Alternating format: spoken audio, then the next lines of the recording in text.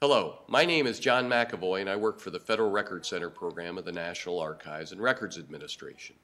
This module will demonstrate how to find your reference requests in ARCIS using the query functionality. Let's take a look. To find your reference requests in the ARCIS customer portal, simply click on Reference Requests and then either navigate to Create or Profile Specific or Agency Wide. In this case, we're going to look for things in the agency-wide view. Okay? Now, in each of the two categories, My Agency Workspace or FRC Workspace, there is a Query for Reference Request button.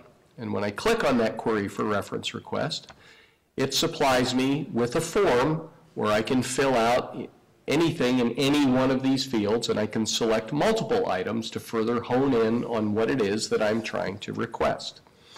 Now, similarly, as with records transfers, if I go to the reference request number field, I could type in asterisk 663, and that will return for me all reference requests that end in the numbers 663.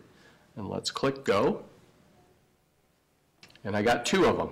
I got 663 here, and I got another one that just so happened to end in 663 as well. Okay? Moving on with our query functionality. Again, you can select multiple things out of your reference request. For example, you could say, give me everything that's in B21 that is in status reference received. Um, so there's two, two items in the form that I filled out, and I will click Go.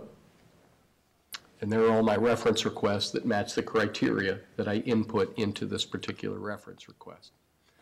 Now, keep in mind that in the query functionality, uh, or in any of these list applets that are displayed, you can only navigate and look at 25 records at a time. And typically, most agencies have thousands upon thousands of individual reference requests. And unfortunately, once again, we are teasing you with a reports button up at the top there is no report at this time. Uh, you can certainly do screen prints of this if you so choose. However, if you need a specific reference request report, uh, that's when you should have your administrator contact me and I can get you just about anything you could possibly want from a reference request uh, standpoint. Keep in mind that when you are querying for various items within the system, if you're looking for things by status, Remember that in My Agency Workspace, in reference requests, there are only two statuses, reference initiated and reference submitted.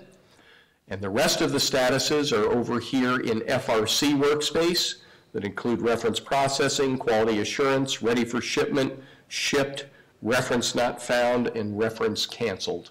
And in some cases, realigned. Realigned status means that that particular reference request was realigned because an agency took over your old agency's records, and that happens from time to time within the federal government. So that includes our lesson and module on query functionality within reference requests within the ARCIS customer portal. As always, help is available for the ARCIS customer portal. You can access a wealth of information at the ARCIS website, as well as access to all of the training manuals for all of the available components of ARCIS. Link to that via www.archives.gov slash FRC slash ARCIS. There too you will find a link for the ARCIS Help Desk entitled Get Help, and that will provide you with information about the hours of operation for the ARCIS Help Desk in St. Louis, as well as their phone number and an email address. And lastly, you can contact your ARCIS administrator. Hello.